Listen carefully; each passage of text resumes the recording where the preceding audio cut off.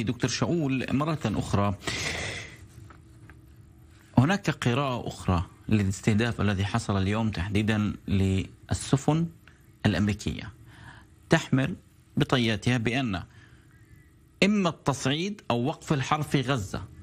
إلى أي مدى تتفق مع حجم هذا التصعيد أو الارتفاع في حجم الاستهدافات؟ لأنها كانت تقتصر أولا على السفن الإسرائيلية. אני אחלק את התשובה לשניים. سأقسم الجواب لقسمين وربما هناك تعارض. الحوثيين أولا يحصلون على اعتراف إقليمي. لبنان سوريا العراق إيران اليمن. كلها مركزة على غزة. عبد الملك الحوثي. بهذا الشكل عبد الملك الحوثي يحصل على اعتراف كقائد إقليمي يؤثر على عمليات كبيرة دولية. الشيء الثاني وهو مشكلة بالنسبة إلي. لأنه لا يعمل لا يتعامل الآن مع الصراع في غزة لأنه ضرب ناقلات في طريقها إلى الهند بالخروج من باب المندب. سفن غربية والآن سفن حربية. يعني التركيز ليس على غزة تماما وإنما هو دمج الاعتراف الدولي بضائقة اليمن ورغبة إيران. بأن تثبت لكل الدول أن إيران تريد أنت تقول نقطة السيطرة على البحر. النقطة كالتالي. الآن الحوثيون رفعوا بتصريحاتهم يعني الأهداف التي يريدون تحقيقها من هذه الحرب وهي غزة.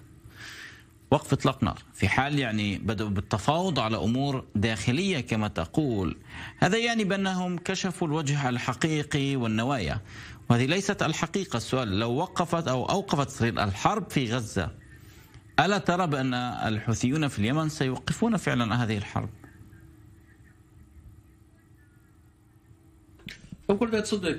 معك حق اولا هم رفعوا سقف مطالبهم بداوا بموضوع غزه ولكن هذا ليس غزه فقط يعني اليمنيين انقصهم مشاكل لقد خرجوا من حرب اهليه طويله بلادهم مدمره الناس يموتون من المرض والفقر هذا ما يحتاجه اليمنيون الانشغال بمشكله على بعد 2000 كيلومتر منهم. ليحلوا مشاكلهم.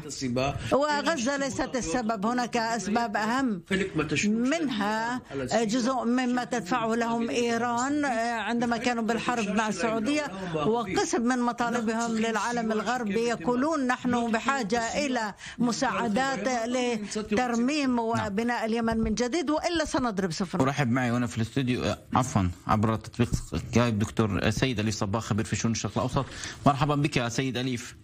أولا اليوم أنا أريد أن أبدأ معك تحديدا من نقطة الاستهدافات في المياه الإقليمية وما حصل اليوم هناك باستهداف سفينة أمريكية.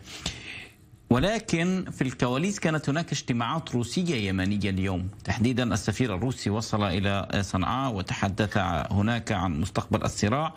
وأيضا عبد اللهيان وزير الخارجية الإيراني يقول بأن هذه السفن ستكون مستهدفة من قبل جماعة أنصار الله الحوثية. ألا ترى بأن ذلك تحول إلى صراع محاور أو صراع قطبين بين محور روسيا وإيران وبين الولايات المتحدة والغرب وإسرائيل؟ نعم بدون أي شك هذا الصراع هو جزء من الصراع الإقليمي وقد يتحول إلى صراع دولي.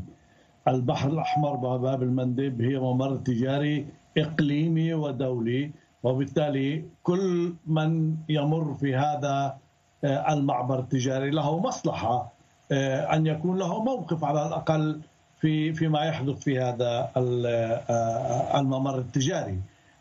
إن لم يكن له موقف وله مصلحة في ذلك يعني لابد أن يعطي رأيه بألا يتحول البحر الأحمر والمندب إلى منطقة ساخنة متوترة حربية حتى لا تتعطل مصالح الدول. في الوقت الحاضر قال الحوثيون منذ البداية ولغاية الآن نحن لا نعطل التجارة الدولية لا نعطل حتى التجارة الأمريكية ما نعطله أو نريد أن نعطله هو التجارة الإسرائيلية. ولكن الاستهداف سفينة أمريكية اليوم. نعم. ما حدث هو استهداف سفينة أمريكية هي ليست إسرائيلية. أوكي. ماشي ماشي. لا أحكي الموضوع. قال اليمنيون أنه نحن نستهدف التجارة الإسرائيلية والمصالح الإسرائيلية حتى يتوقف الحرب على غزة بمعنى وسيلة ضغط لتوقيف الحرب على غزة. الولايات المتحدة وبريطانيا قررتا أن تشنا الحرب على اليمن دون أن تهدد اليمن أي مصلحة من المصالح الأمريكية. اليمن لم تهدد السفن الأمريكية ولا التجارة الأمريكية. لذلك يعني أصلا يعني أمريكا لا تتاجر مع شرق آسيا عبر البحر الأحمر. أقل دولة تستخدم البحر الأحمر التجارة الدولية هي أمريكا. أمريكا لديها ممر مباشر من شرق آسيا إلى الولايات المتحدة عبر المحيط الأطلسي دون أن تمر في البحر الأحمر. روسيا كذلك لديها ممرات برية بين شرق آسيا وروسيا دون أن تمر في البحر الأحمر. اذا الدول الوحيدة يعني ذات المصلحه إما دول الجوار المشاطئ على البحر الأحمر وإما الصين والهند وأوروبا. يعني هذا الممر بالأساس يخدم شرق آسيا والعلاقة مع أوروبا. ولكن أمريكا لديها أهداف أخرى. لذلك شنت هذه الحرب على على آه، اليمن دون أن يكون دون أن تعتدي اليمن على على أمريكا، من اعتدى هو أمريكا وبريطانيا اعتدوا على اليمن، لذلك رد اليمن في الوقت الحاضر.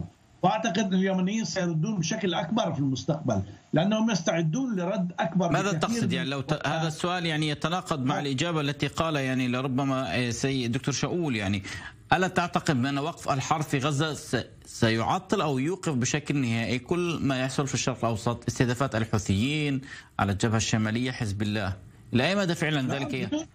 شوف حزب الله والحوثيون. قالوا هذا الكلام بشكل واضح. إذا توقفت الحرب على غزة سوف يتوقف حزب الله في الشمال ويتوقف الحوثيون في البحر الأحمر عن استهداف أي كان لذلك إذا كانت أمريكا فعلا صادقة فيما تقول أنها تريد وقف الحرب بأسرع ما يمكن الجواب واضح. أوقفوا الحرب أوقفوا الدعم لإسرائيل. اسمحوا لمجلس الأمن أن يتخذ قرار بوقف الحرب. اسمحوا للمحكمة الدولية أن تصدر قرارا بوقف الحرب وستنتهي الحرب وسينتهي التدخل الحوثي وسينتهي تدخل حزب الله إذا القضية بسيطة ولكن الأهداف نعم. الأمريكية هي أبعد بكثير من إيقاف الحرب على غزة. طيب دكتور شاول يعني كما قلنا يعني قضية إيقاف الحرب يعني لها تداعيات على المنطقة وعلى الشرق الأوسط. وهناك حتى شعور إسرائيلي بأن قضيه هجمات الحوثيين أصلا لم تكن بحسابات إسرائيل اطلاقا يعني حتى وإن كانت هذه الحرب إطلاق صواريخ تعطيل الملح هي لم تكن بالخطة. أليس من الأجدر الآن أن تعيد إسرائيل النظر أصلا بمسألة استمرار الحرب لأن اليوم شهدنا يعني عمليا بدأت المرحلة الثالثة تعطيل الحرب وقفها ولربما التفكير مستقبلا بسيرورة هذه الحرب الرد إلى آخره لأن ذلك له انعكاسات أيضا على آه، الاقتصاد الإسرائيلي. لا شك بأن الاقتصاد الإسرائيلي تضرر. وإسرائيليين تضرروا من الحرب منذ 7 أكتوبر. ولكن لدي سؤال محدد. هل لإسرائيل بديل آخر؟ عدا أن تؤدي بعملية يخرج أو يطرد فيها أو آه، آه، قادة حماس وحينها تحويل غزة إلى منزوعة السلاح. أريد أن أذكر بأن قادة حماس الكبار وعدوا بأنه كلما تستطيع حماس سوف يتكرر 7 أكتوبر. لا دولة عاقلة في العالم كانت ستبقي مثل هذه هذا التنظيم على حدودها. حتى تستطيع. لا نقول بأن هذا سهل. آه، يجب أن تسعى إلى أن يتدمر أو يبعد مثل هذا التنظيم عرفنا أن أن الحوثيين لديهم صواريخ. وقد أطلقوا صواريخ ولم يساعد الأمر ولكن الإطلاق على باب المندب والممرات البحرية هذا موضوع عالمي. لأنه يرفع أسعار النفط ليحلها العالم وليس إسرائيل. بعالم متعدد الأقطاب اليوم. وفي موقف إسرائيل حيال الحرب أصلا في روسيا وأوكرانيا ويعني وجودها أكثر في المعسكر الغربي. كان لديها ورقة للتأثير عن طريق الصين مثلا. الآن هل تعتقد بأن إسرائيل قادرة على الضغط من خلال هذه الورقة مثلا على وقف هجمات الحوثيين؟ דרך הקלף הסיני? עקבתי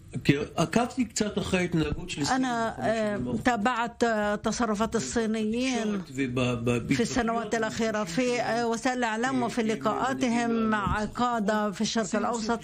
الصينيين يقومون بحسابات آه، ويرون أن إسرائيل آه، دولة صغيرة مقابل العالم العربي. مصالح العالم العربي إذا قارنوها مع مصالحهم في إسرائيل.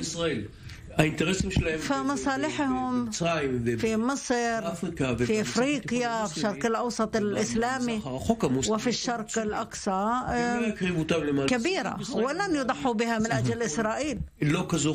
إسرائيل ليست مهمة نعم. كثيرا بالنسبة لهم. لذلك نعم. لا أعتمد على الصين بأن تحل مشاكل إسرائيل. خاصة أن إسرائيل حليفة كبيرة للولايات المتحدة.